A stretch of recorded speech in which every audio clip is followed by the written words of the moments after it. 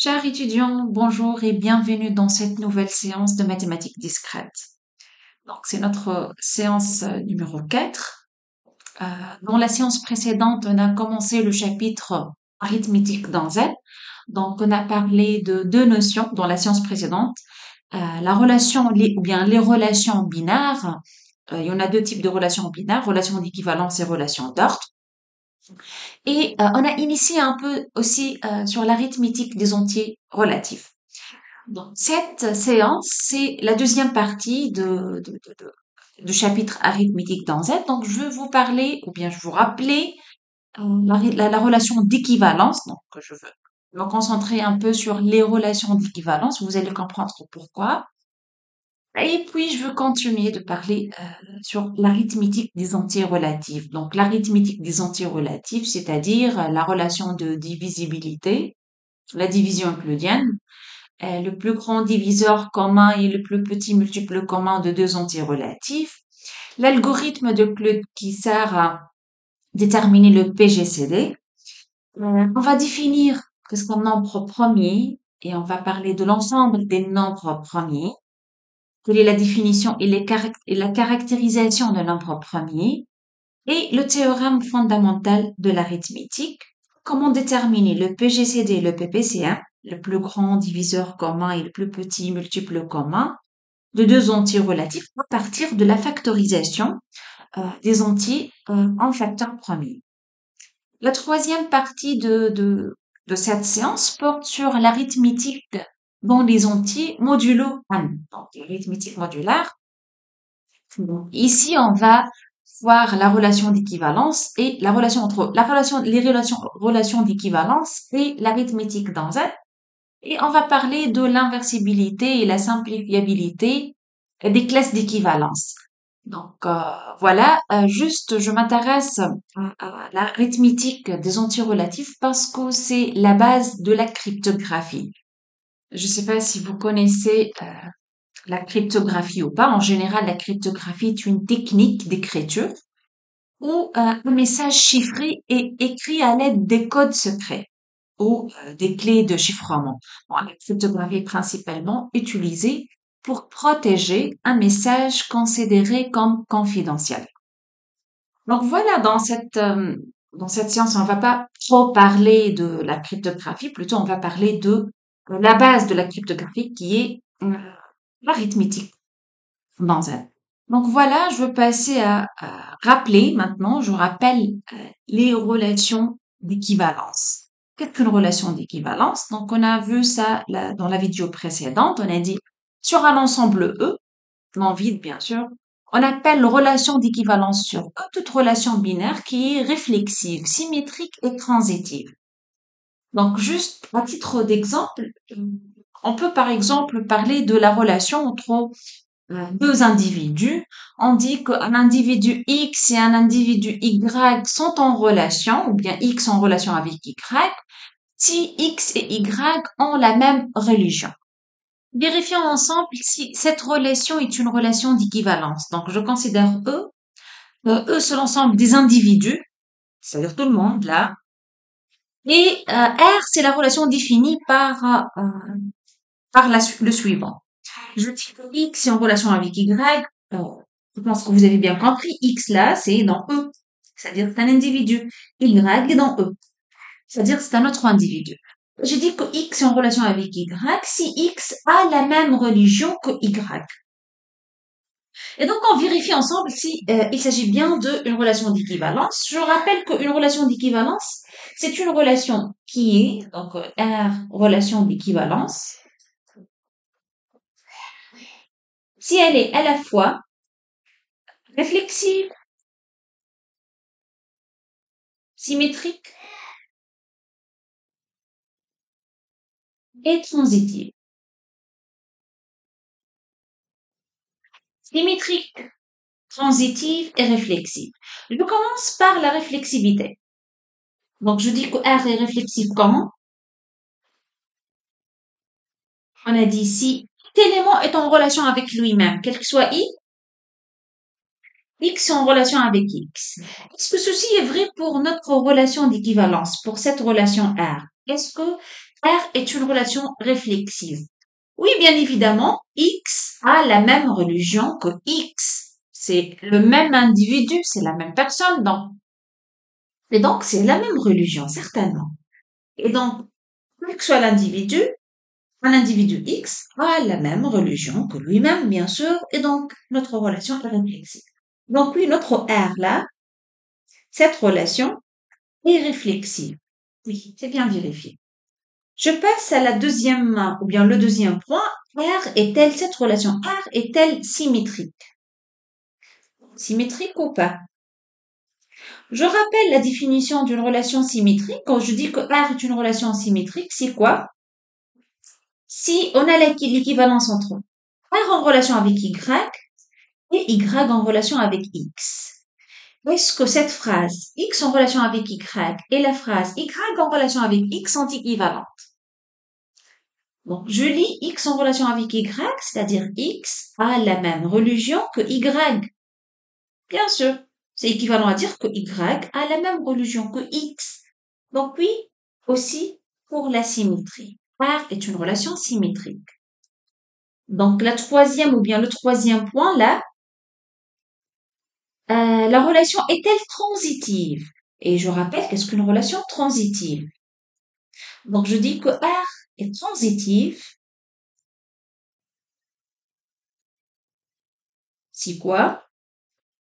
Si on a euh, deux relations, X en relation avec Y et Y en relation avec Z, c'est-à-dire un individu X est en relation avec un autre Y. Et ce Y est en relation avec Z. Est-ce que ceci implique ou pas que X est en relation avec Z? Est-ce que cette implication est correcte? Oui, encore. Pourquoi? Parce que X est en relation avec Y, c'est-à-dire que X et Y ont la même religion. Y en relation avec Z, c'est-à-dire Y et Z ont la même religion. Et donc, on a X, Y et Z. Les trois, c'est la même religion. Et donc, X en relation avec Z, oui. Donc, c'est une relation d'équivalence. Donc, vous voyez, on a une relation d'équivalence. Et je rappelle, une relation d'équivalence, c'est toujours comme si on a une caractéristique ou bien une caractérisation commune euh, entre les éléments d'un ensemble. Donc, voilà pour la relation d'équivalence. Je euh, revient à la présentation. Donc, une relation d'équivalence, c'est une relation euh, binaire qui soit réflexive, symétrique et transitive. Maintenant, la classe d'équivalence. C'est quoi la classe d'équivalence d'un individu X, par exemple? Donc, la classe d'équivalence d'un individu X, j'écris là. Bien sûr, ici, quand je parle de la relation d'équivalence, lorsque j'ai euh, quand je parle de la classe d'équivalence, pardon. Quand je parle de la classe d'équivalence, lorsque j'ai une relation d'équivalence. Donc, je note par exemple euh, x point, la classe de x, ou bien x bar, comme ça, ou bien CLX, ou bien encore, si je veux préciser, c'est LR de x, c'est-à-dire la classe d'équivalence de x pour la relation R. Donc, c'est quoi par définition la classe d'équivalence? C'est un ensemble. On a vu la définition d'un ensemble. L'ensemble de quoi? Je vais écrire la nature des Y qui sont dans E. Qui vérifie quoi? Donc ici la condition d'appartenance. X est en relation avec Y. Donc la classe de X, c'est un ensemble. X bar, j'utilise soit cette notation, soit celle-là, soit n'importe euh, quelle notation parmi les quatre notations suivantes. X bar, c'est un ensemble déjà. X bar, c'est un ensemble qui contient quoi? Qui contient des éléments. Et quelle est la condition? Il faut que cet élément Y soit en relation avec X. J'explique euh, sur l'exemple que j'ai pris tout à l'heure. X est en relation avec Y si X a la même religion que Y. Alors, si euh, je considère un individu musulman, donc X est musulman, par exemple, Alors, quand Y est en relation avec X, lorsque Y et X ont la même religion, on a dit. D'accord. Donc, Y est musulman. Et donc, c'est quoi la classe de X? La classe de X, j'écris ça, c'est l'ensemble des Y, des individus. Donc, donc, pour mon exemple, qui vérifie quoi? Tel que Y est en relation avec X. Mais si je sais très bien que X est musulman, donc Y dans E, tel que Y et X ont la même religion. En la même religion. Mais je sais très bien que X est musulman, donc Y dans E, tel que Y est musulman. Et donc voilà, si je considère X un musulman, c'est quoi la classe de, X? C'est tout un individu qui est musulman. Donc la classe de X, c'est l'ensemble de tous les musulmans. Vous voyez? Si maintenant je considère X un juif, c'est quoi la classe de X? La classe de X, c'est toujours l'ensemble des éléments, donc l'ensemble des, des, individus, tels que Y est en relation avec X. Mais si X est juif là, donc Y a la même religion que X, donc Y est juif. Et donc, la classe de X, c'est quoi? C'est l'ensemble des individus qui sont comment? Juifs. Voilà, donc, vous voyez, la classe d'un individu, c'est l'ensemble des individus qui partagent avec lui la même caractérisation. Donc, on a dit une relation d'équivalence, c'est une relation qui, euh, on dit que X est, en relation avec Y si X et Y partagent une même caractérisation. Et donc, par exemple, pour euh, la, relation que j'ai donnée, X en relation avec Y, s'ils ont la même religion, je, je vois que la classe d'équivalence d'un individu X, c'est l'ensemble de tous les individus qui partagent avec lui la même propriété. Examinons maintenant cette relation. Toujours, je considère eux l'ensemble, même ensemble, l'ensemble de tous les individus. Et la relation R définie par le suivant. X est en relation avec Y si X appartient au même continent que Y. donc, vous voyez ici, il y en a une propriété. Donc, X en relation avec Y si X a, euh, partage avec Y une propriété. C'est quoi cette propriété pour cette relation? C'est que X et Y appartiennent au même continent.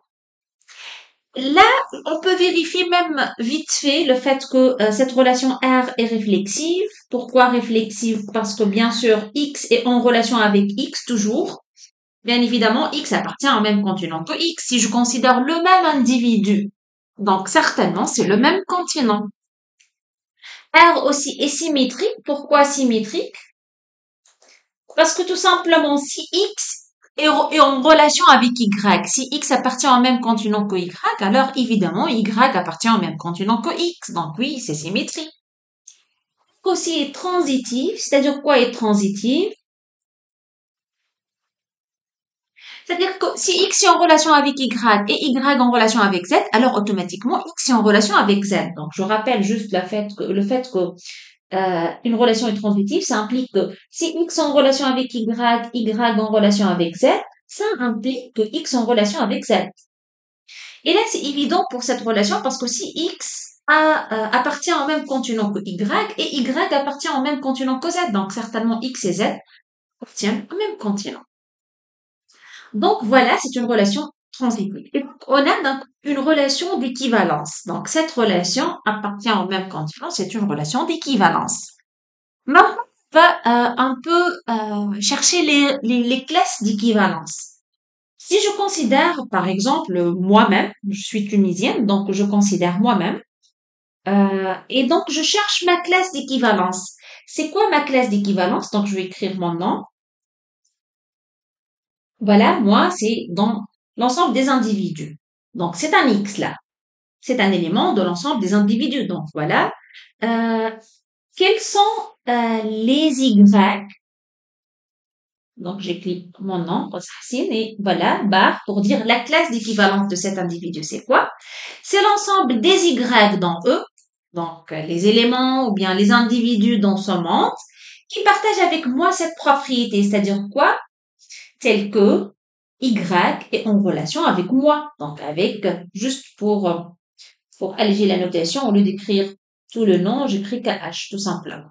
Avec Y en relation avec moi-même. Mais c'est quoi la relation Y en relation avec X? C'est-à-dire, on appartient au même continent. Mais puisque je suis africaine, et donc, quand Y est en relation avec moi, lorsqu'il est africain. Donc là, l'ensemble des éléments qui sont en relation avec moi, qui sont, c'est l'ensemble des individus qui sont africains. Donc, à l'Afrique. Et donc, voilà, j'ai trouvé ma classe d'équivalence. Ma classe d'équivalence, c'est l'ensemble de tous les individus. Vous voyez, une classe, c'est un ensemble. Donc, c'est l'ensemble de tous les individus qui sont africains ou bien qui appartiennent à l'Afrique. Bien sûr, ici, euh, vous pouvez remarquer qu'on peut alors diviser l'ensemble E sur des classes d'équivalence selon cette relation. La relation que je donnais, R, c'est quoi?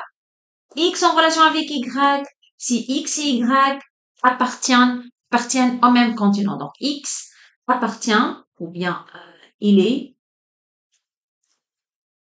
et euh, de même continent que Y. Et donc, je peux diviser E, l'ensemble de tous les individus, le monde, sur des classes d'équivalence. Voilà, par exemple, si moi je suis tunisienne et euh, je considère ma classe d'équivalence, j'ai trouvé ma classe d'équivalence, c'est l'ensemble de tous euh, les Africains. Donc ça, c'est une classe d'équivalence. Même si je considère une autre personne comme rien là, un comme rien, donc, euh, sa classe d'équivalence, c'est les individus qui sont des Africains. Donc, c'est la même classe. Donc, ça, c'est une classe d'équivalence. Donc, le continent ou bien les individus africains, ça, ça, ça représente une classe d'équivalence. Pour un individu français, par exemple, si je considère quelqu'un euh, de la France, alors là, c'est quoi sa classe d'équivalence? On va dire c'est l'ensemble de tous les individus qui partagent avec lui le même continent. Donc, c'est l'Europe. Euh, et ainsi de suite. Donc, on peut euh, répartir, on forme une répartition de E. Euh, les classes d'équivalence, ça représente les individus, ça c'est une classe, les Africains, les Européens, l'Asie c'est une autre classe, l'Amérique, les Américains, ça forme une autre classe, ainsi de suite. On fait quoi? On dit, on fait une partition, bien repartition de E. Donc, c'est quoi une répartition d'un ensemble? Euh, je considère toujours un ensemble, par exemple, E, une partition, bien on dit partition ou bien repartition de E est une famille des parties. Donc, c'est une famille formée par des parties elles-mêmes. Qui vérifie quoi? L'ensemble E, je, peux l'écrire comme la première partie union, la deuxième union, la troisième, ainsi de suite. Chaque partie est non vide, donc elle contient au moins un élément. Donc, on a dit, les PI sont non vides, chaque PI est non vide. L'union de tous les PI égale l'ensemble E et PI inter PJ égale le vide. C'est-à-dire il n'y a pas un élément qui appartient en même temps à P1 et aussi à P2. Et donc on peut dire alors, si on a une relation d'équivalence R et euh, un ensemble E menu de, de cette relation d'équivalence, alors l'ensemble des classes d'équivalence forme une repartition, ou bien forme une partition de E comme on a vu avec la relation X en relation avec Y, si X et Y appartiennent au même continent, donc on a vu c'est une partition du monde. Ou bien encore, si je considère la relation d'équivalence X en relation avec Y, si X a la même religion que Y, alors on peut avoir une autre partition du monde, une nouvelle partition selon la religion juif, euh, chrétien, musulmans, ainsi de suite. Donc, on va former une partition de, des individus ou bien euh, de tout le monde. Passons maintenant à une autre relation d'équivalence, mais cette fois sur Z. Juste imaginer que euh, on travaille sur Z. Voilà, donc E, l'espace des antirelatifs. Et euh, je définis une relation X en relation avec Z. Si X moins Z est un nombre pair. Bien sûr, ici, je supposais que x est un anti-relatif, z est un anti-relatif. Je sais que il vaut mieux écrire n et m parce que euh, on utilise euh, d'une façon générale les, symboles n, m, p, q comme ça pour euh, désigner les anti-relatifs. Mais juste ici, voilà, je peux encore choisir comme notation x un anti-relatif, z un anti-relatif. Donc, x moins z est un nombre pair. Vous savez qu'est-ce qu'un nombre pair? C'est un nombre s'écrit sous la forme 2 fois 4. Euh, c'est-à-dire 2, c'est un nombre pair. 0, c'est un nombre pair. Moins 2, c'est un nombre pair. Moins 4 aussi. Euh, moins 6, 4, 6. Tous, tous ces, ces nombres sont des nombres pairs. Alors, donc, quand je dis que x en relation avec z, si x moins z est un nombre pair. Et donc, vérifions ensemble qu'il s'agit bien d'une relation d'équivalence.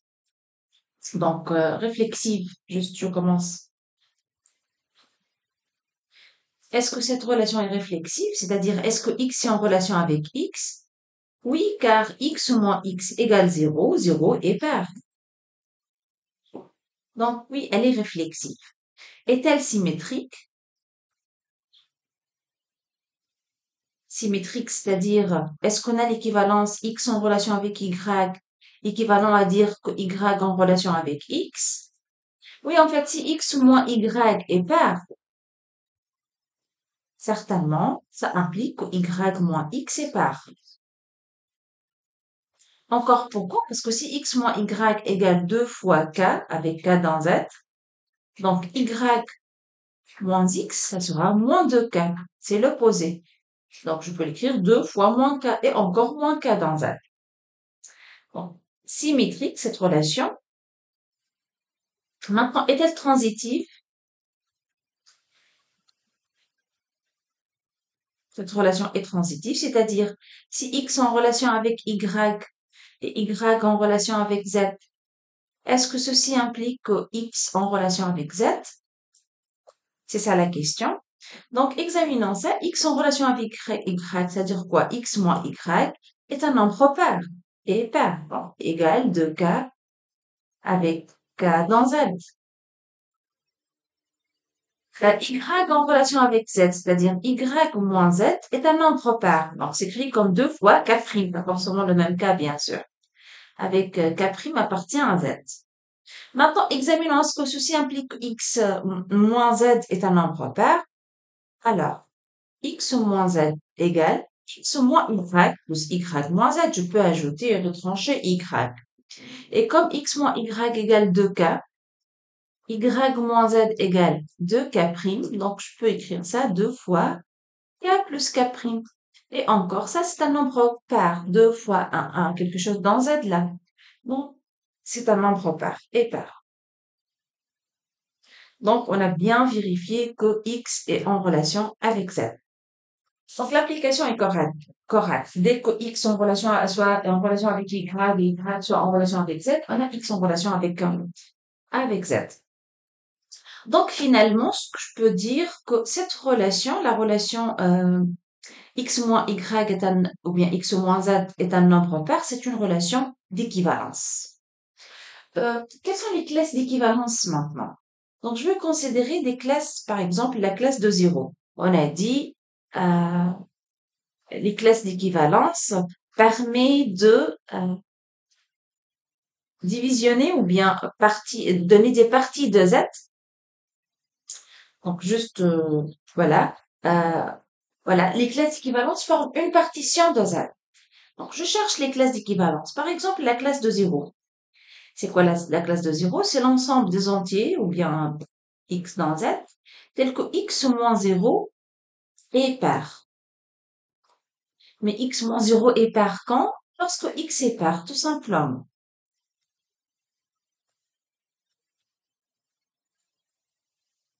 Donc finalement, vous pouvez voir, c'est quoi la classe des zéros? C'est l'ensemble de tous les entiers relatifs qui sont pairs. C'est-à-dire 0, 2, 4, 6, moins 2, moins 4, moins 6, ainsi de suite, 8, etc. Vous voyez? La classe de 1, maintenant, c'est quoi? La classe de 1, c'est l'ensemble des entiers relatifs qui sont en relation avec 1. Donc, c'est l'ensemble des x dans z qui sont en relation avec 1. En relation avec 1, c'est-à-dire quoi? Tel que x moins 1 est un nombre pair et pair. Si x moins 1 est un nombre pair, c'est-à-dire quoi? C'est-à-dire x moins 1 s'écrit sous la forme 2 fois 4. Donc x moins 1 s'écrit sous la forme de fois k avec k dans z. Donc x s'écrit comment? 2k plus 1 avec k dans z.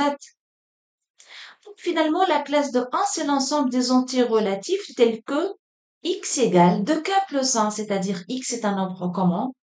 Impair. Donc finalement, la classe de 1, c'est l'ensemble des entiers relatifs impairs. Donc, c'est l'ensemble des x dans z tels que x est impair. Et donc, quels sont les nombres impairs? 1 et moins 1, 3 et moins 3, 5 et moins 5, etc.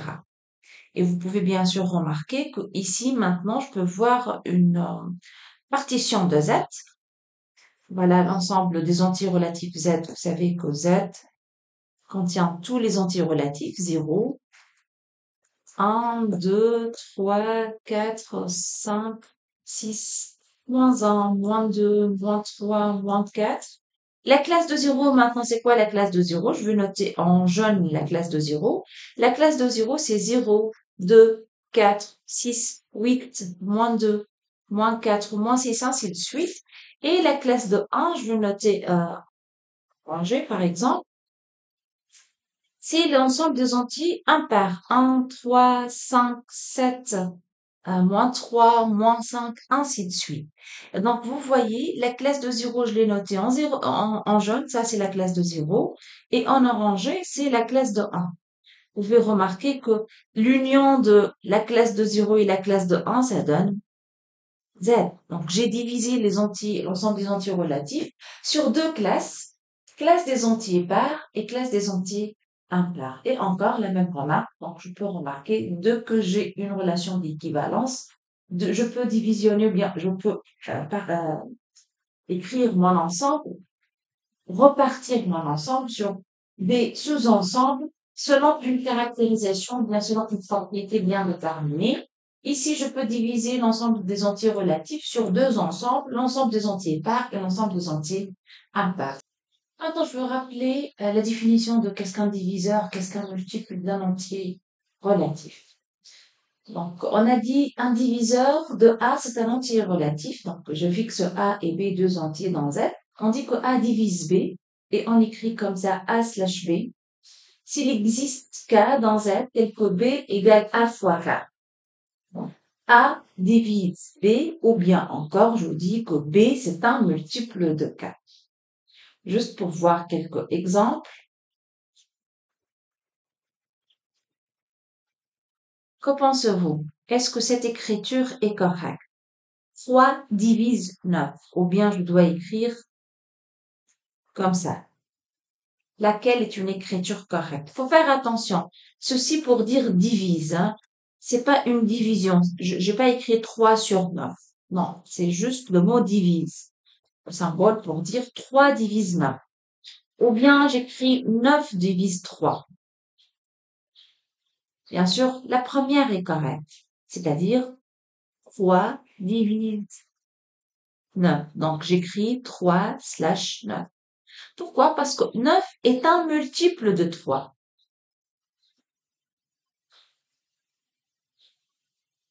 Neuf égale 3 fois 3. Alors, qu'en pensez-vous Est-ce que je peux écrire 0 divise 1 ou bien 1 divise 0 Ici, on ne peut pas dire que 0 est un multiple de 1, euh, est un diviseur de 1, pardon. Pourquoi? Parce que je ne peux pas écrire 1 égale 0 fois un entier relatif. C'est impossible. 0 fois k, ça donne toujours 0.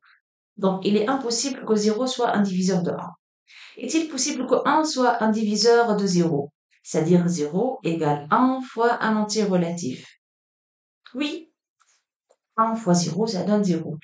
Donc oui, on a un cas dans un tel que 1 fois égale 0. Et donc, je peux dire que 1 est un diviseur de 0 ou encore que 0 est un multiple de 1. Donc, une autre question, est-ce qu'on peut dire que 2 est un diviseur de moins 2 Est-ce qu'on peut dire que moins 2 diviseur de 2 est-ce que peut-être donc laquelle est correcte ou bien lesquelles? Peut-être les deux sont vraies ou bien aucune n'est vraie. Je pense sur vous. Donc ici, est-elle correcte? Est-ce que moins 2, c'est un multiple de 2 C'est-à-dire moins 2, je peux l'écrire 2 fois un entier relatif k. Oui, je peux dire 2 fois l'entier moins 1 égale moins 2. Donc, celle-là est correcte. 2 est un diviseur de moins 2. Est-ce que moins 2 maintenant est un diviseur de 2 Est-ce que je peux écrire 2 égale moins 2 fois un entier relatif k Oui, encore, fois moins 1. Moins 2 fois moins 1 égale à 2. Et donc, vous voyez, 2 divise moins 2 et moins 2 aussi divise 2. Et d'une façon générale, si on a deux entiers relatifs A et B dans Z, tels que A divise B et B divise A, si on a ça, alors on peut directement dire que la valeur absolue de A égale la valeur absolue de B. C'est-à-dire A et B sont soit égaux, soit euh, opposés. Encore, si maintenant euh, A divise B et C divise D, est-ce que je peux dire A fois C divise B fois D? Donc si on a ces deux propriétés, A divise B, la première, C divise D, la deuxième, est-ce que je peux dire, est-ce que je peux passer au produit A fois C divise B fois D? Alors, toujours pour les démonstrations, si on a des propriétés, on vous demande si c'est vrai ou bien pas. Pensez à écrire chaque fois le fait que A divise B, ça donne quoi? On a A divise B, c'est-à-dire B, c'est un multiple de A. Donc B s'écrit comme A fois un entier relatif. Avec K dans Z. Il existe certains K dans Z qui vérifient ça. Le fait que C divise D, ça implique quoi Implique que D est un multiple de C, c'est-à-dire égal C fois un entier relatif. Mais puisque j'ai utilisé K là, donc je vais écrire K', parce que pas forcément c'est le même entier relatif. Et maintenant, B fois D. B fois D égale à quoi? Si je fais le produit B fois D égale à quoi?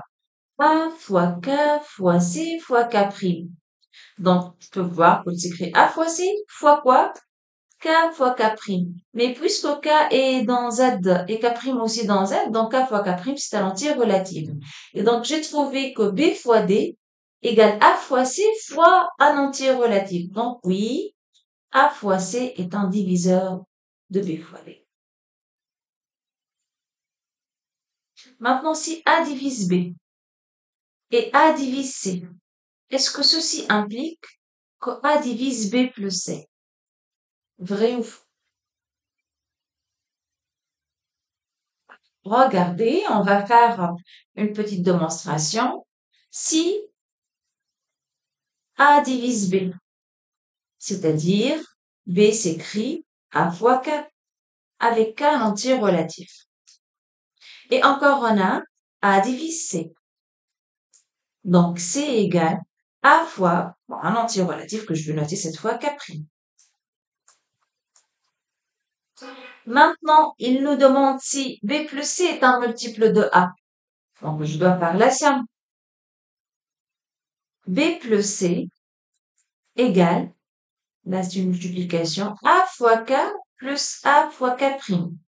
Donc, je peux écrire A en facteur de K plus K'.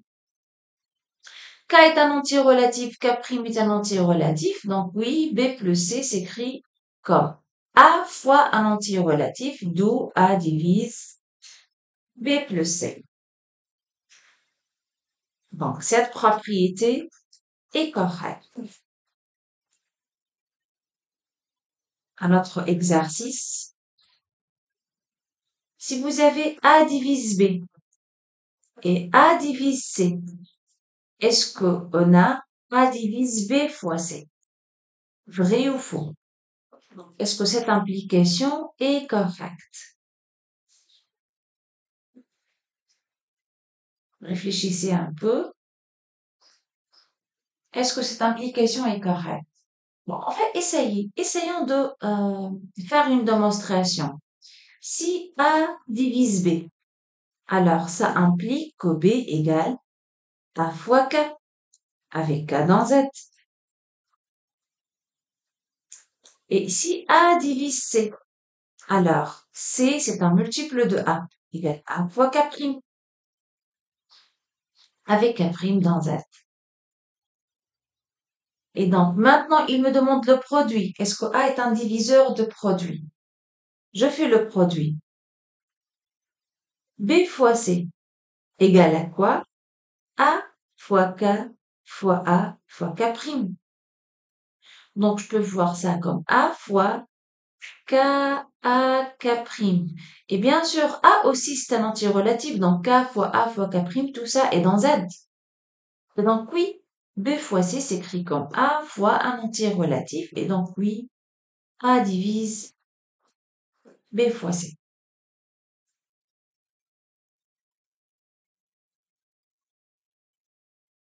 Pensons autrement maintenant. Imaginez qu'on a un entier A qui divise B plus C.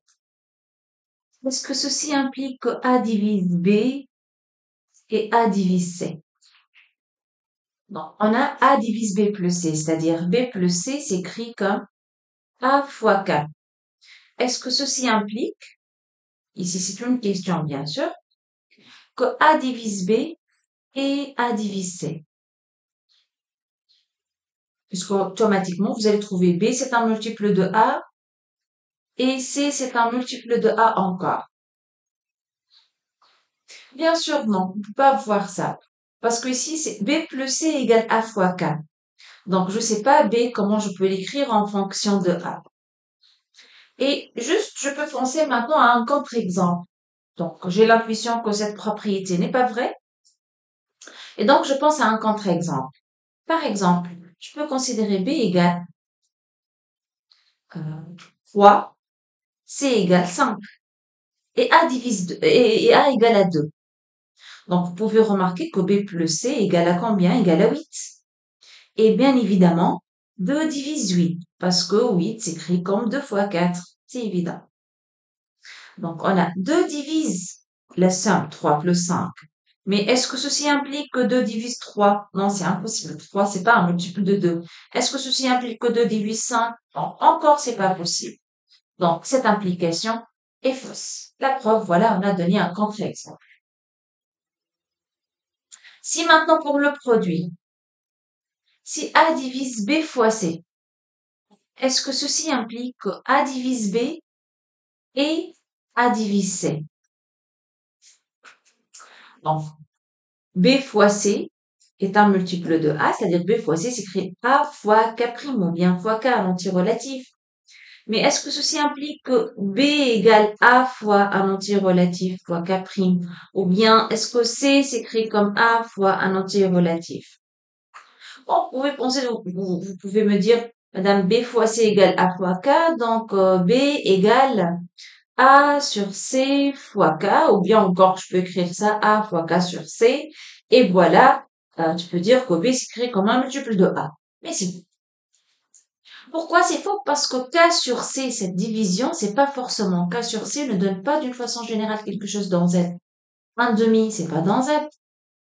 Soit euh, quart, c'est pas dans Z.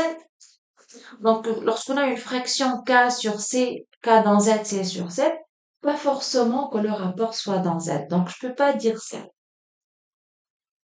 Et donc, vous voyez le fait que B fois C égale A fois K n'implique pas que B c'est un multiple de A ou bien C c'est un multiple de A. Encore d'une façon générale, c'est assez faux. Je peux penser à un contre-exemple encore. Par exemple, euh, A égale 4. B égale 2 et C égale 6. On peut vérifier que A divise B fois C. B fois C égale à combien dans notre cas? 12. Et A égale à 4. C'est clair que 12, c'est un multiple de 4. 12 s'écrit comme 3 fois 4. Donc, on a 4 divise 12. Mais est-ce que A divise B Regardez, 4 divise 2. Non, 4 ne divise pas 2. Et aussi, est-ce que 4 divise 6 Est-ce que 6 s'écrit comme un multiple de 4 Encore non.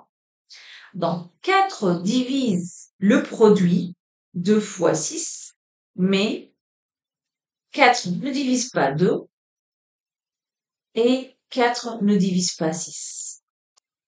Donc, je peux rappeler euh, juste maintenant quelques propriétés concernant les diviseurs. Mais euh, c'est pas la peine de apprendre à faire des propriétés. Bien sûr, on peut toujours imaginer est-ce qu'on peut faire une démonstration ou bien penser un contre-exemple si vous pensez que euh, l'implication n'est pas correcte. Donc ici, on a dit si A divise B, A divise C, alors A divise ça. La réciproque est face. Si A divise B, A divise C, alors A divise le produit. Encore la réciproque est face. Si A divise B et C divise D, par passage de produit, on peut faire A fois C, encore un diviseur de B fois D, la réciproque est face. Et si A divise B et B divise A, on a dit, euh, donc, soit A égale à B, soit A c'est l'opposé de A. Donc, pour une façon générale, la valeur absolue de A égale la valeur absolue de B. Je rappelle maintenant la définition de congruence. Bon, j'ai parlé de ça l'autre fois encore, mais voilà, on rappelle ça. Euh, je dis que cette écriture, par exemple, A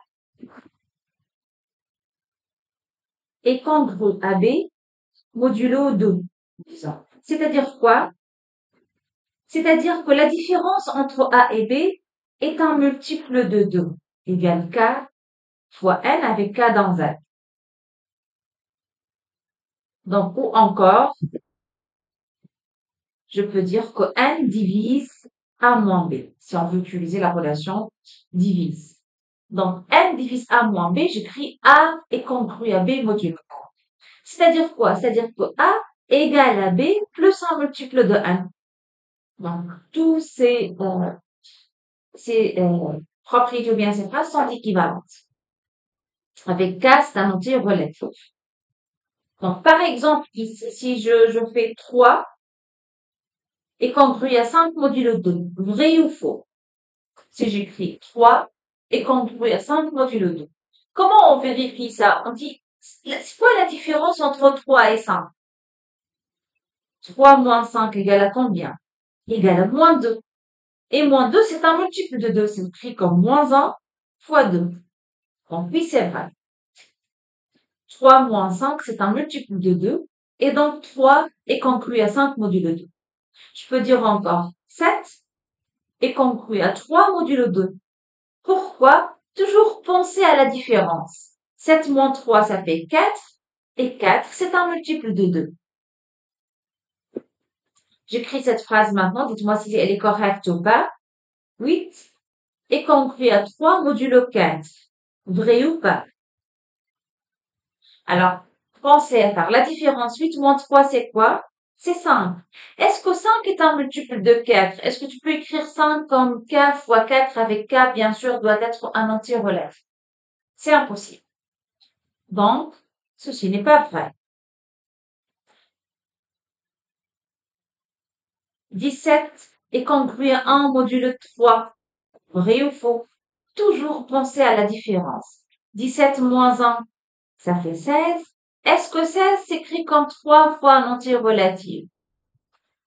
Vous pouvez voir, ceci est impossible parce que 16 sur 3, c'est pas dans Z. Et donc, je peux pas écrire 16 égale à 3 fois un entier relatif. Donc, ça, c'est faux. Donc, toujours pour la relation de congruence, si on vous demande de vérifier si A égale, est congru à B modulo 1, Pensez à la différence A moins B. Si on peut écrire A moins B un multiple de N, c'est-à-dire si A moins B sur N est égal à K avec K dans Z, c'est-à-dire si A moins B dans N est un entier relatif. Sinon, on va dire que A est congru à B modulo N. Maintenant, je donne des propriétés et essayez à chaque fois de déterminer si la propriété est vraie ou bien elle est fausse. Si A est congru à B modulo N, et C est congru à D modulo N. Est-ce que je peux passer à la somme? Faut faire attention ici, le, le, même entier naturel, toujours N là. Travail modulo N. Est-ce que je peux passer à la somme? Est-ce que je peux dire que A plus C est congru à B plus D modulo N Est-ce que cette implication, elle est vraie ou bien elle est fausse? Que pensez-vous? Si on veut vérifier ça, donc, on a A plus C là, B plus D là, je fais la différence et je vérifie si c'est un multiple de n tout simplement. On a A plus C moins B plus D égale à quoi? Je peux dire c'est A moins B plus C moins D. Maintenant, je dois vérifier est-ce que c'est un, multiple de n. Mais A moins B, c'est un multiple de n parce que A est congru à B modulo n. C'est bien n fois un entier relatif. C moins D maintenant. Oui, encore, c'est un multiple de n parce que C est congru à D modulo n. Donc, égal n fois quelque chose. Je vais noter K' parce que j'ai utilisé la notation K là. Et donc, vous voyez, c'est écrit comme n fois K plus K'. L'essentiel, c'est un multiple de n, donc cette propriété, oui, elle est vraie. La première, elle est vraie. Que pensez-vous de la deuxième maintenant? A est congru à B modulo n. Est-ce que je peux passer à la multiplication? C est congru à D modulo 1. Est-ce que ceci implique que a fois C, regardez, j'ai multiplié, égale, ou bien congru à B fois D, modulo N. Est-ce que cette implication est correcte? De même, donc, on va, puisqu'on on se demande si on a un entier congru à un autre modulo n, on fait la différence et on vérifie si c'est un multiple de n.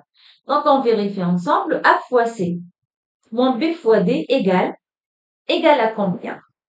Mais là, c'est beaucoup plus compliqué.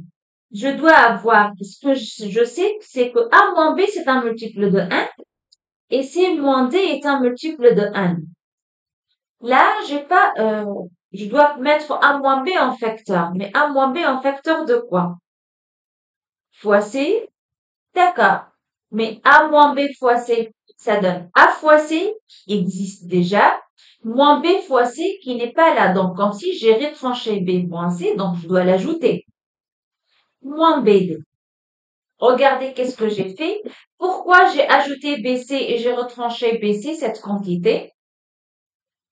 Parce que j'ai besoin d'avoir un moins B. Parce que c'est ce que je sais. Je sais que A moins B, c'est un multiple de 1. Je sais pas pourquoi AC moins BD.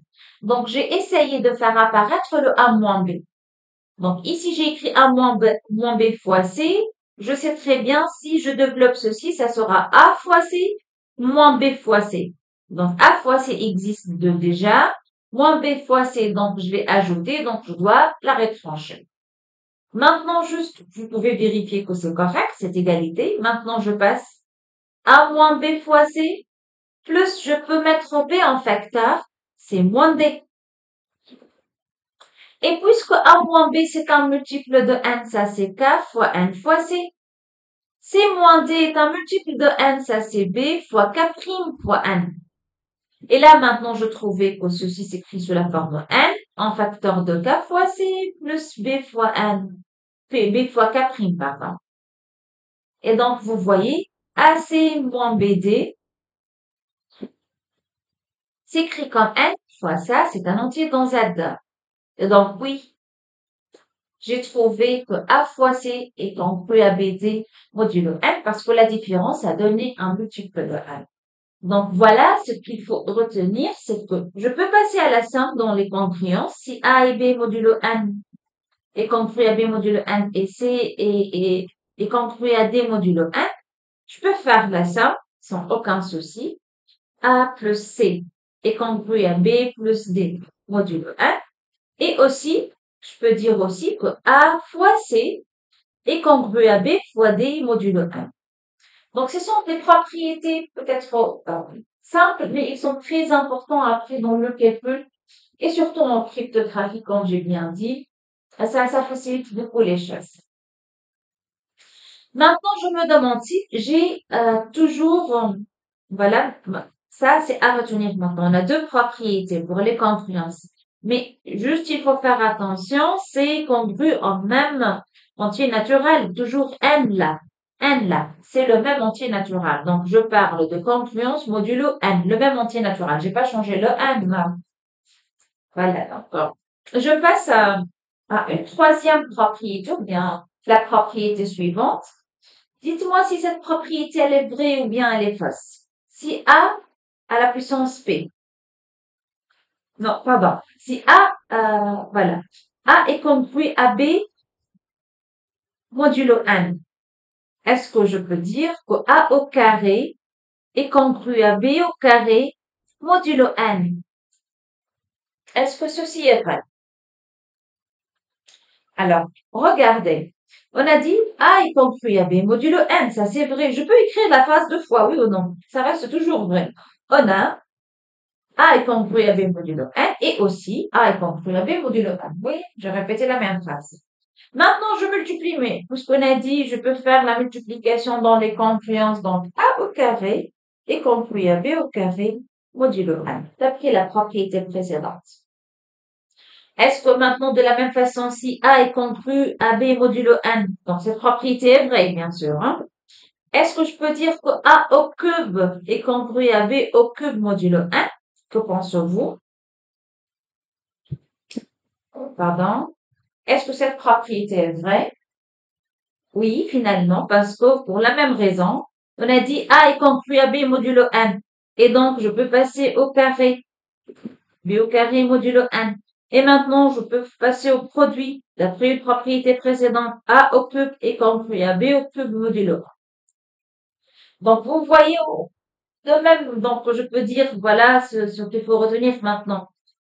Voilà la propriété. Si A est compris à B modulo 1, alors A à la puissance n'importe au carré au cube, un entier naturel essentiel, P, est compris à B modulo P, euh, à la puissance P, pardon, modulo 1 quel que soit P, l'entier naturel. Dès que euh, vous auriez A est compris à B modulo n, donc A carré est compris à B carré modulo n, A au cube est compris à B au cube modulo n, ainsi de suite. Euh, je reviens maintenant à la division euclidienne. Donc, je rappelle brièvement c'est quoi la division euclidienne. Je divise un entier relatif par un entier relatif. Donc, c'est l'un parmi les théorèmes les plus importants dans l'arithmétique. Le théorème dit la chose suivante. Si on a un entier relatif A et un entier relatif B, l'essentiel B euh, non un entier non nul, et je vais effectuer la division euclidienne de A par B. Alors, il y en a un seul couple. Il existe un unique couple Q et R qui vérifie euh, A égale B plus R et la condition sur, sur R est très importante. Il faut que le R soit euh, positif, pardon, est inférieur strictement à la valeur absolue de B.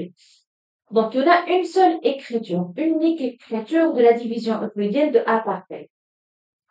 Alors, regardez dans cet exercice, je fais quoi? Je vous propose quelques écritures et dites-moi à chaque fois si c'est la division euclidienne de A par B ou pas. Donc, je considère A égale A égale 16 et B égale à 3. Alors, la première écriture, est-ce que euh, cette écriture, eh bien, il s'agit bien de la division euclidienne de A par B. A, qui bien sûr 16, égale B, qui est 3, fois 3, plus 7. Vous savez que c'est correct comme écriture. 16 égale 9 plus 7. C'est correct. Mais est-ce que je peux dire que c'est la division euclidienne de A par B? Et la division euclidienne de A par B. Vrai ou faux? Non, c'est faux parce qu'on a dit ici, vous voulez dire que Q, c'est le quotient, c'est 3 et le reste, c'est 7. Mais n'oubliez pas, dans le théorème de la division euclidienne, on, on, écrit, oui, A égale B, Q plus R, mais on a une condition sur R. Il faut que le R soit positif est strictement inférieur à la valeur absolue de B. Je divise par B, donc le reste doit être strictement inférieur à B, en valeur absolue. Ici, le reste est égal à 7. 7, c'est plus grand que 3. Et donc ça n'est pas l'écriture de la division euclidienne de A par B. Je vous propose une autre écriture. Que pensez-vous de ça? 16 égale 3 fois 5 plus 1. Est-ce qu'il s'agit de la division euclidienne de 16 par 3 Oui, dans ce cas, on a le quotient, c'est 5, le reste est égal à 1, et bien le reste supérieur ou égal à 0 est inférieur strictement à la valeur absolue de b qui est 3. Donc c'est, oui, c'est la division euclidienne de 16 par 3. On a trouvé le quotient égal à 5, le reste égal à 1. Que pensez-vous maintenant de cette écriture 16 égale 3 fois 6 plus moins 2 est-elle la division est-elle l'écriture de la division euclidienne de, de A qui est 16 par B? Non, parce que ici, le reste est égal à moins 2. Et on a dit dans euh, la division euclidienne, le reste doit être supérieur ou égal à 0. Donc, ce n'est pas l'écriture de la division euclidienne. Finalement, puisqu'on a trouvé l'écriture, l'écriture est unique. On ne peut pas trouver deux écritures différentes de la division euclidienne. La division euclidienne, l'écriture, le quotient et le reste est unique. Donc, c'est bon pour 16 et 3, on a trouvé euh, la division euclidienne de A par B, de 16 par 3. Je passe à un autre exemple. Je considère maintenant A égale à 20, B égale à 4. Et je demande de déterminer l'écriture, la bonne écriture de la division euclidienne de A par B. La première, la deuxième,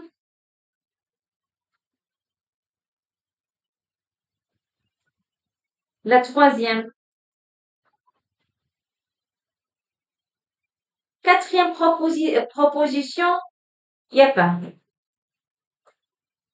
Eh bien, on peut pas effectuer, c'est mieux. J'écris on peut pas effectuer la division euclidienne.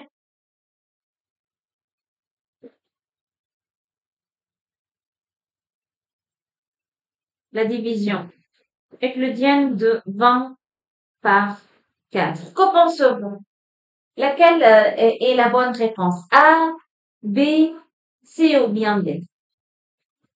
Bien sûr, il faut pas dire D parce que D'après le théorème, toujours, pour n'importe quel deux entiers euh, relatifs, l'essentiel B est non nul, et c'est le cas là, dans Z étoile, toujours y a la division euclidienne. Donc on peut toujours parler de la division euclidienne. Donc la dernière réponse, elle efface des noms. Les trois écritures, 4 fois 4, ça fait 16, 16 plus 4, c'est 20, c'est correct. 4 fois 6, c'est c'est 24 et 24 moins 4, ça donne 20. Encore correct. 4 fois 5, c'est 20. 20 plus 0, c'est 20. Correct comme égalité. Mais laquelle est la division euclidienne Il faut toujours que le reste soit inférieur strictement à B en valeur absolue et supérieur ou égal à 0. Ici, B égale à 4. Ici, on peut pas avoir un reste égal à 4. Il faut que le reste soit strictement inférieur. N'oubliez pas. Donc, ça, c'est faux. Ici, 4 fois 6 plus moins 4. Moins 4 est négatif. On a dit il faut que le reste soit positif. Ça, c'est faux. Maintenant, ça, c'est un reste qui est positif. Vous savez que R supérieur égal à 0. Donc, R va être 0. Et 0 strictement inférieur à 4. Et donc, c'est la bonne division euclidienne. Donc, juste un dernier exemple. Déterminer parmi les quatre écritures suivantes, A, B, C et D, laquelle c'est l'écriture de la division euclidienne de A par B, de 99 par 5. A, B, ou bien C ou bien B. Je suppose que tu as trouvé la bonne réponse. Bon, bien sûr, ici on a euh, écrit sous la forme euh, A égale BQ plus A. Ici, le reste, c'est 44, mais on veut un reste strictement inférieur à 5, donc ça, c'est faux. La deuxième, le reste, c'est moins 5 négatif, encore c'est Bon, ici, j'ai le reste 4, 4 et 4 est positif et inférieur à 5. Donc, laquelle est correcte? Si tu as, si tu fais le calcul ici, tu vas pas trouver 99. Donc, cette égalité n'est pas vraie. Finalement, 99, c'est pas 5 fois 17 plus 4. Mais plutôt, si on fait le calcul 5 fois 19 plus 4, on va trouver 99. Donc voilà, la réponse c'est la bonne écriture. Juste une remarque sur la division euclidienne. Si on a la division euclidienne de A par B, donc A égale BQ plus R, donc certainement, A est congru à quoi modulo B? Qu'est-ce que je peux dire? En fonction de congruence, A égale à R modulo B. Pourquoi? Parce que A moins R, c'est un multiple de B comme vous voyez. Rappelons maintenant le PGCD et le PPCM. Comme on a dit euh, dans la vidéo précédente, le PGCD, c'est le plus grand diviseur commun.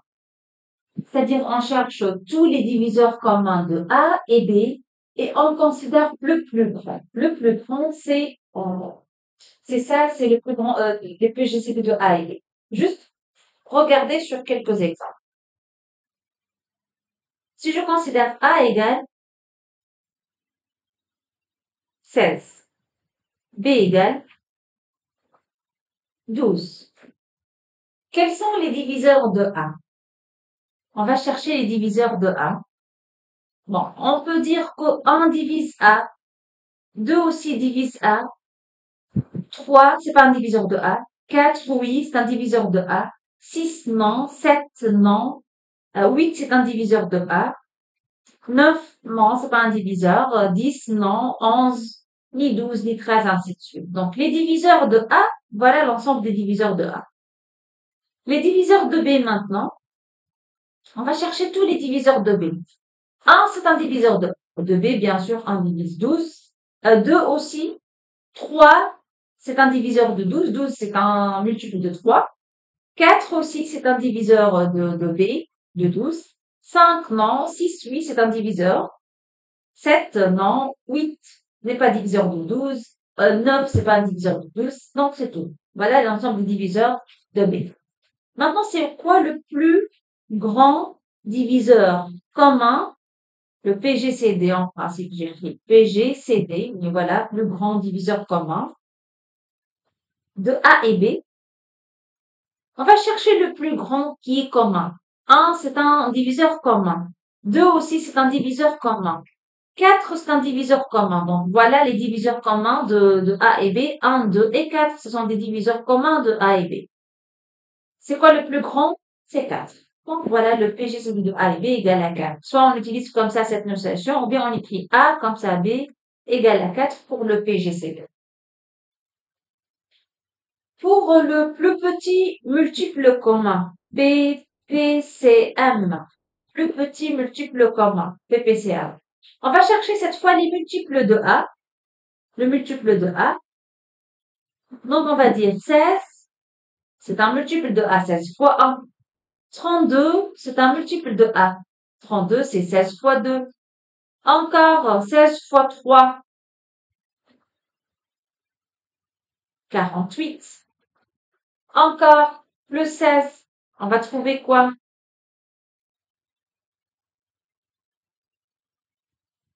Ainsi de suite. Bien sûr, il y en a une infinité de multiples. Mais on va chercher le plus petit multiple commun.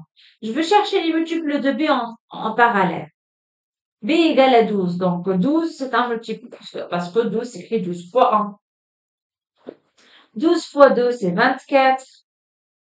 12 fois 3, c'est 32. 36. 36. 12 fois 4, 48. 12 fois 5. Mais pourquoi je cherche 12 fois 5 Ça y est, j'ai trouvé un multiple commun et c'est le plus petit. Oui ou pas? Parce que certainement, on va trouver des autres multiples communs. Mais on cherche cette fois le plus petit. Donc, je m'arrête. Voilà, c'est le plus petit multiple commun. Donc, le PPCM. PPCM de A et B de 16 et 12 est égal à 48. Pour le PPCM, on peut écrire 16 comme ça cette fois. 12 égale à 48. Juste une petite remarque, il faut toujours garder dans la tête que le PGCD ou bien le PPCM de deux entiers relatifs sont toujours strictement positifs. Donc même si je considère A négatif, par exemple ici si je considère A égale à moins 4, B égale à moins 6, ou bien B égale à 6 même, je peux considérer l'un euh, positif, l'autre négatif. Lorsque je, m'intéresse au diviseur de A, je m'intéresse au diviseur positif. Donc, 2 divise A, 1 divise A, 4 divise A. Bien sûr, je sais très bien qu'il y a des diviseurs négatifs qui sont moins 2, moins 1 et moins 4, mais ici, on s'intéresse au diviseur positif parce que le PGCD est un entier naturel non nul. Même chose, le diviseur de B, c'est quoi? On s'intéresse aux diviseurs qui sont positifs. 1, 2, 3 et 6. Et donc, du coup, on trouve le plus grand diviseur commun de A et B, le PGCD, de A et B, de euh, moins 4 et 6 est égal. Vous voyez le plus grand diviseur, il y en a deux diviseurs communs, 1 et 2, donc le plus grand c'est 2. Et le PPCM, on doit alors chercher les multiples. Le PPCM, pourquoi j'ai écrit Voilà, PPCM. On doit chercher les multiples qui sont encore positives, strictement positives. Alors, un multiple de moins 4 positif, c'est 4. Un multiple de moins 4 positif, c'est 8. Un multiple de moins 4 positif, c'est 12, ainsi de suite. Pour les multiples, euh, les multiples positifs de B, les multiples de B positifs sont 6 strictement positifs. 12, 18, ainsi de suite. Je m'arrête là. Pourquoi? Parce que j'ai trouvé déjà un multiple commun qui est le plus petit. Donc, le PCM de A et B est égal à 12. Donc, que ce soit A est négatif, B négative ou bien A positif, B négative ou bien le 2 sont positifs, toujours le PGCD, le PPCM sont deux entiers relatifs positifs. Donc voilà, euh, on appelle PGCD de A et B l'unique entier B dans N entier positif qui divise à la fois A et B et qui est le plus petit. Euh, le plus grand. On dit plus grand diviseur commun. Pardon? Donc, euh, c'est un diviseur commun de A et B, c'est le plus grand. Donc, le diviseur commun de 2 et 4, c'est 2. Le diviseur commun entre 3 et 4, le plus grand, c'est 1. Moins 5 et 15, le plus grand diviseur commun, c'est 5. Moins 3, moins 9, le plus grand diviseur commun, c'est 3.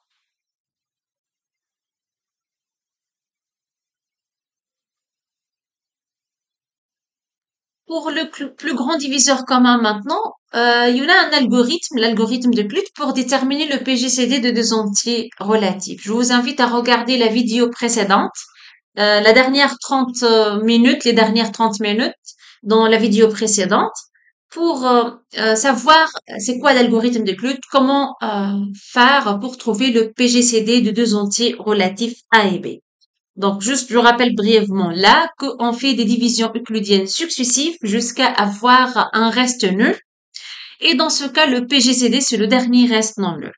Donc voilà, vous voyez par exemple euh, sur cet exemple, si on cherche le PGCD de deux entiers 187 et 57, en utilisant l'algorithme de Clut, qu'est-ce qu'on fait? On divise 187 par 57 on fait la division euclidienne, vous savez très bien que le reste va être un réel positif ou bien un entier positif et aussi inférieur à 57. Maintenant, je divise le 57 par 16. Donc, deuxième division euclidienne, 57 par 16. Je trouve un deuxième reste 9. Et encore, je divise 16 par 9. Le, reste 16 par le reste 9. Je trouve un troisième reste 7. Et puis 9 divisé par 7. Toujours, j'effectue la division euclidienne. Je trouve un reste 2.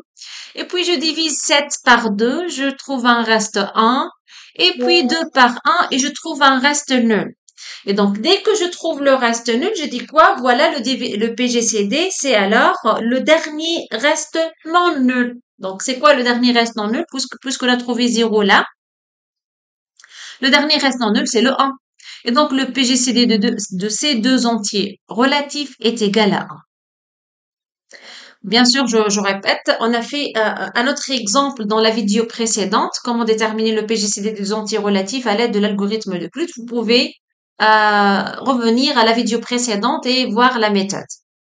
Maintenant, juste euh, le théorème de Gauss. Vous vous rappelez lorsque je vous ai donné la, la propriété suivante j'ai dit euh, si A, je suppose que A divise, pardon,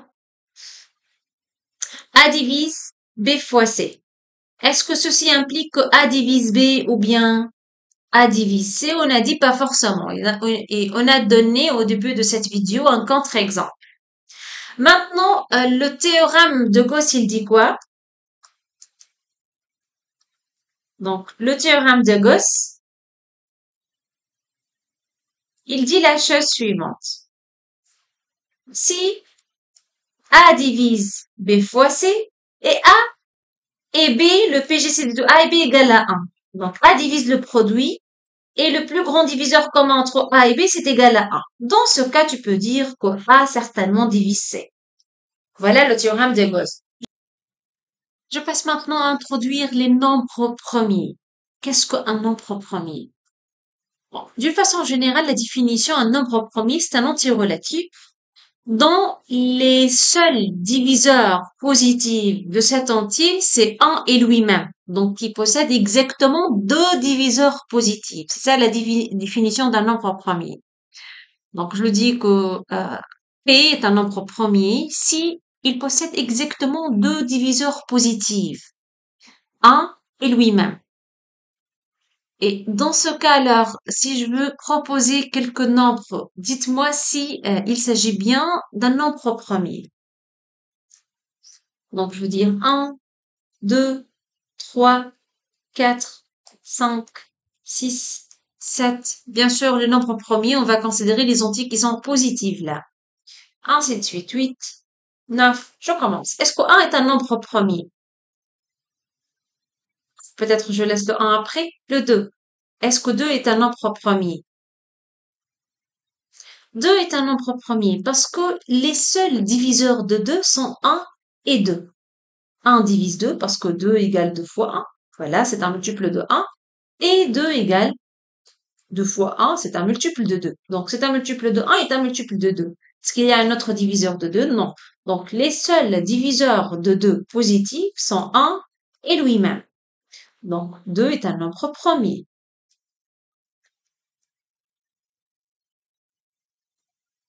3. Est-ce que 3 est un nombre premier? Cherchez les diviseurs de 3, les diviseurs positifs. Donc, 1, c'est un diviseur positif de 3. 2, non. 3 lui-même, oui, c'est un diviseur tout, tout entier divise lui-même. Donc, combien de, de diviseurs positifs? 1 et lui-même. Donc, 3 est un nombre premier.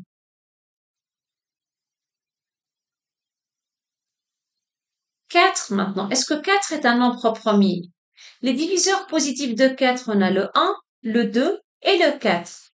2 divise 4. Donc 4, c'est pas un nombre premier.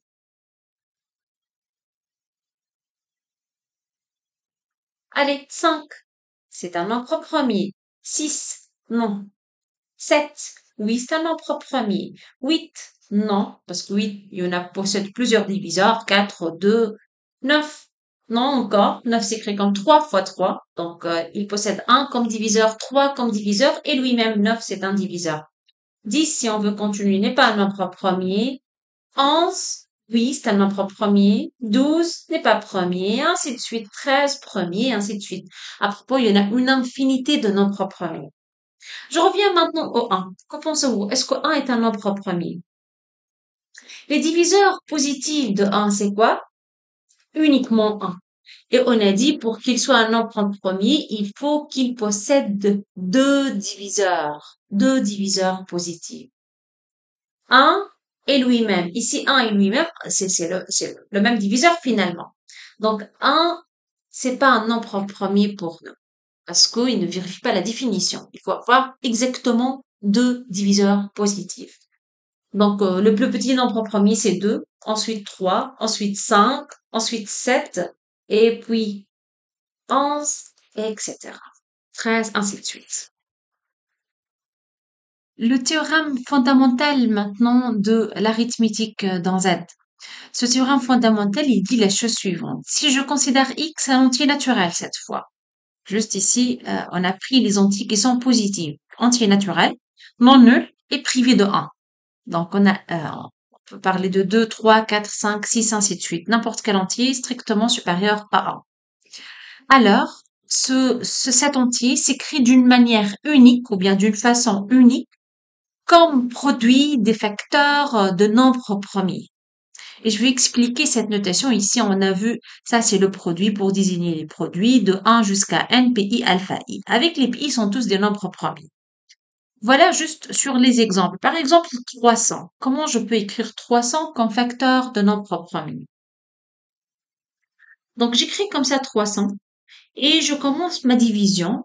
Comment je divise par le plus petit entier premiers, nombres premiers. Vous savez qu'on a dit les nombres premiers sont 2, 3, 5, 7, 11, 13, etc. Donc, je commence par le plus petit. Je divise par 2. 300 divisé par 2, ça donne 150. C'est pas une division euclidienne, juste on cherche les facteurs premiers. 150 sur, sur 2, ça donne 75. Maintenant, je ne peux, je ne peux plus diviser par 2. Donc, je passe au nombre premier suivant. Est-ce que je peux diviser par 3 57 est divisible par 3. Oui, donc je divise par 3, je trouve 25. Est-ce que je peux diviser par 3 Non, 25 n'est pas divisible par 3, donc je passe au nombre premier suivant, 5. Je divise par 5, 25 sur 5, ça fait 5. Et 5, je le divise par 5 encore, ça fait 1. Dès que je trouve 1, je m'arrête. Et je dis alors, 300 s'écrit comme quoi? 2 fois 2 fois 3 fois 5 fois 5. Voilà les facteurs de nombres premiers. Bien sûr, je peux écrire ça 2 au carré fois 3 fois 5 au carré. Donc, vous voyez le produit des PI à la puissance alpha i. Ici, les PI sont de nombres premiers et la alpha i, ce sont les puissances. Un autre exemple, si on vous demande de d'écrire le nombre 630 comme facteur de nombre premier, qu'est-ce qu'on va faire? Je veux diviser tout d'abord par 2. Oui, c'est divisible par 2 et le résultat va donner 315. Maintenant, 315 n'est plus divisible par 2. Donc, est-ce que 315 euh, est divisible par 3 Oui. 315 sur 3, ça donne 105. 105 est-elle divisible par 3 Oui encore. Donc, vous savez que si je fais la somme 1 plus 0 plus 5, ça fait 6. Je sais que 6 multiple de 3. Je suis une méthode pour savoir que si c'est divisible par 3 ou non. Divisible par 3 et la division, ça donne quoi? 35. Est-ce que je peux diviser 35 par 3 Bon, pardon. Ici, je dois écrire 3 là et 35 ici. Voilà, 35. 35 est-elle divisible par 3 Non. Maintenant, je passe à l'entier ou bien au nombre premier suivant. Est-elle divisible par 5 Oui. 35 divisé par 5, ça fait 7. 7 n'est plus divisible par 5. Je passe au nombre premier suivant qui est 7. 7 divisible par 7, oui. Et 7 sur 7 égale 1. Finalement, 630 égale 2 fois 3 au carré fois 5 fois 7. Voilà la décomposition euh, facteur de nombre premier de chiffre 630. Vous pouvez bien sûr imaginer, même si le nombre est très grand, on va considérer par exemple 18 711, et on veut diviser ça. Par 2, c'est pas divisible. Par 3, c'est divisible. Donc, je divise par 3. Pourquoi c'est divisible? Ça, c'est 9. Si je fais la somme, 1 plus 8, 9, 7 plus 1 plus 1, 9. Et 9 plus 9, ça fait 18. Et c'est clair que 18 est divisible par 3. Donc, juste une méthode pour savoir si c'est divisible par 3 ou pas. Divisible par 3, et je fais la division. 18 sur 3, ça donne 6. Euh, 7 sur 3, ça fait 0. Euh, euh, pardon, c'est pas 0 bien sûr. 7 sur 3, ça donne 2. Euh, donc, juste je divise. 11 euh, divisé par 3, ça fait 3. Et 21 sur 3, ça fait 7. Donc, voilà, j'ai trouvé la division. Est-ce que ceci est divisible encore par 3 6 plus 2, ça fait 8. Et 7 plus 3, euh, ça fait 10. 10 plus 8, 18. Oui, divisible par 3 encore. Je peux diviser encore par 3. Alors, on va chercher la division. Ça donne quoi? 6 sur 3, ça fait 2, 0, 7 et 9. Est-il divisible par 3 Encore oui. Donc, je divise par 3. 20 sur 3, ça fait 6. Et euh, 17, euh, non, 27 plutôt. 27 euh, divisé par 3, ça fait 9. Et 9 divisé par 3, ça fait 3 encore divisible par 3, 2, 3, 1, encore divisible par 3, 23 sur 3, ça fait 7. Et 21, 7. Oh, là, c'est pas divisible par 3 maintenant, non plus. Donc, je passe 5, non. Pour qu'un euh, un entier soit divisible par 5, il faut qu'ici, l'unité soit soit 0, soit 5. Donc, c'est pas vrai. Donc, je divise par 7. Oui, c'est divisible par 7. Et euh, 77 sur 7, ça fait 11. 11, c'est un nombre premier. 11 sur 11, ça fait 1. Et finalement, je peux dire que ce chiffre 18 711, c'est quoi la décomposition en facteur premier C'est 3 à la puissance combien? 1, 2, 3, 4, 5 fois 7 fois 11. Et voilà la décomposition en facteur de nombre premier de ce nombre-là. Maintenant, juste si tu décomposes le nombre euh, A comme facteur de nombre premier et B comme facteur de nombre premier, on peut facilement trouver le PGCD de A et B. Voilà comment. Je considère les deux chiffres que j'ai déjà, le deux nombres que j'ai déjà composés, 300 et 630. On a dit, je, je, reviens juste à la décomposition de 300. La décomposition de 300, voilà, égale 2 au carré. J'ai trouvé la décomposition, elle est là. 2 au carré. Donc, je peux même écrire là. Je vais effacer ceci. Je garde les deux décompositions uniquement. Voilà, je vais le réécrire. On a, trouvé euh, ces deux euh, écritures pour 300 et 630. Et donc, je peux voir les diviseurs communs maintenant. Le plus grand diviseur commun de 300 et 630 d'après cette écriture, c'est quoi? Je considère les facteurs qui sont en commun. Ici, je vois le 2. Juste, je change la cola. Je vois le 2 ici et là. Je vois le 3 ici et là. Je vois le 5 ici et là. Donc, c'est quoi le plus grand diviseur commun? C'est 2 fois 3 fois 5, c'est-à-dire quoi? 30. Voilà le plus grand diviseur commun, c'est 30. Le PPCM maintenant, le PPCM de 300, 630. Alors, je dois écrire tous les multiples communs. Ici, 2 au carré, fois 3, fois 5 au carré, fois 7. Qu'est-ce que j'ai écrit? C'est vrai qu'ici, on a deux carrés, et là, c'est 2. Donc, le plus petit multiple commun, c'est 2 carrés là.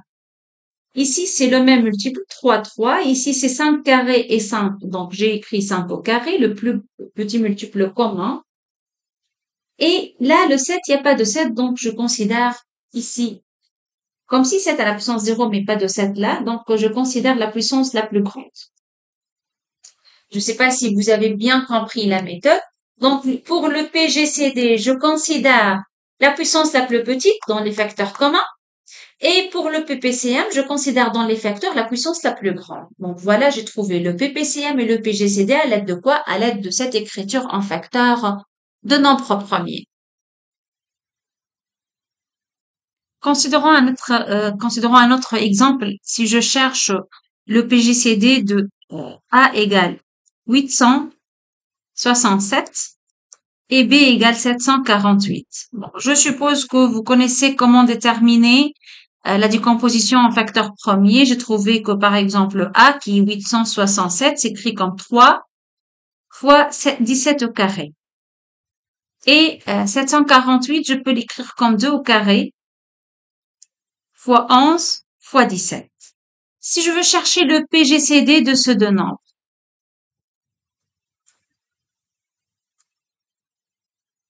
le plus grand diviseur commun, on a dit, on va prendre euh, les puissances ayant plus petit degré de ces facteurs premiers.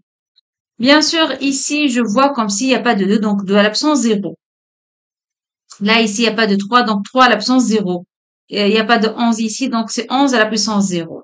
Donc, le plus petit puissance, c'est 2 à la puissance 0, 3 à la puissance 0, 11 à la puissance 0, 17, parce que là, il y en a 17 à la puissance 1 et 17 à la puissance 2. Donc, 17. Et c'est tout. Voilà, on a parcouru euh, tous euh, les, facteurs premiers, 2, 3, 11 et 17.